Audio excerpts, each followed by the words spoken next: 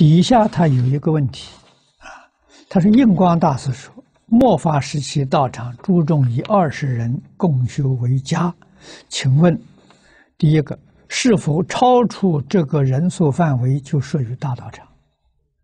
我觉得我们不用去怀疑，也不用去问这些问题，啊，大道场、小道场都是道场，多好，啊，你看诸佛如来的道场，啊，一看。菩萨、比丘、比丘尼、声闻，都是几千人、几万人大道场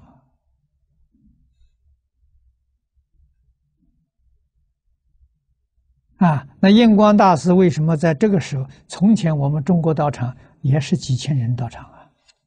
我家乡的世纪禅寺，人数最多的时候住过两三千人。啊，为什么现在提倡二十个人？你多想想，这祖师的用意何在？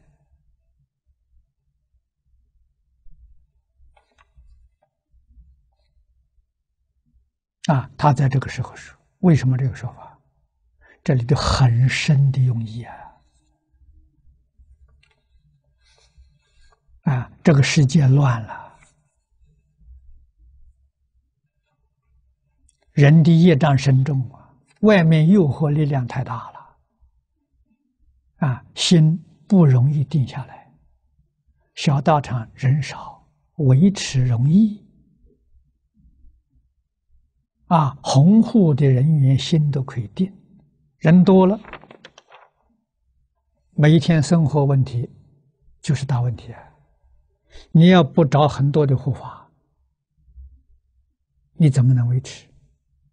如果天天心都在护法身上，啊，护持的人心都在外面，里面修行的人看到这个护持人心都在外面，他的心也不安，对于进修就产生妨碍。